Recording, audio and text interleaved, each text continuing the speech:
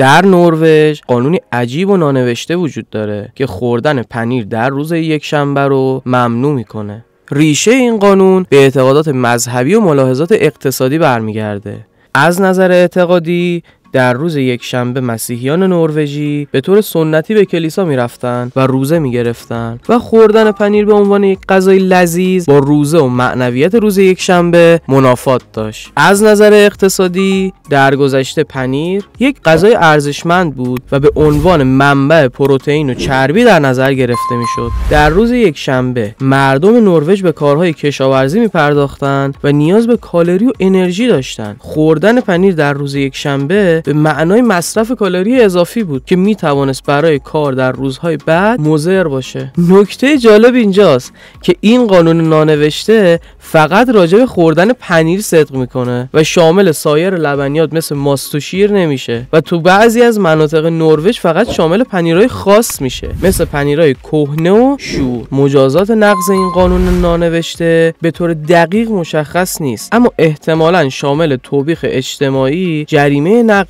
و یا حتی مجازات بدنی میشه. اما سرانجام با گذشت زمان این قانون از بین رفت و مردم آزادن در هر روز از هفته که می‌خوان پنیر بخورن. ولی در حال حاضر برخی از نروژی ها به عنوان تنز یا حفظ سنت از خوردن پنیر در روز یک شنبه اجتناب می‌کنن.